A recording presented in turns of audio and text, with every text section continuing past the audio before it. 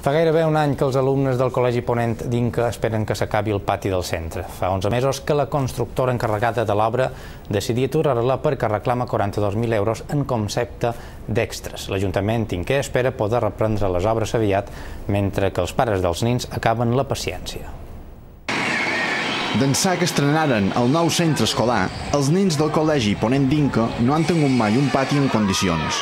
L'equip de govern inquer espera una resolució del Consell Consultiu per reprendre les obres després que la constructora es negàs a acabar-les ara fa 11 mesos.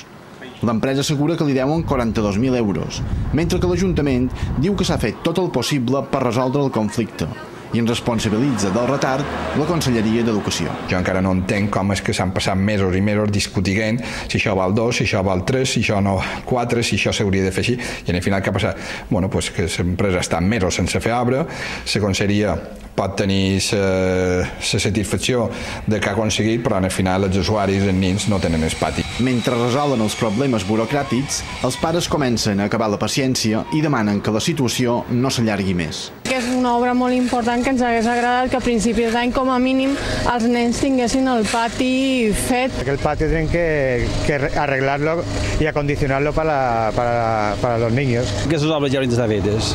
Eh, se gasta dos mesos amb altres coses, però aventura menys, menys interesant que veig els lots. Nos dicen una fecha, luego se alarga y bueno, los niños, claro, como hay diferentes edades, pues estaría bien tenerlo más que nada para que unos se disfrutaran de un patio y, y los más pequeños del otro.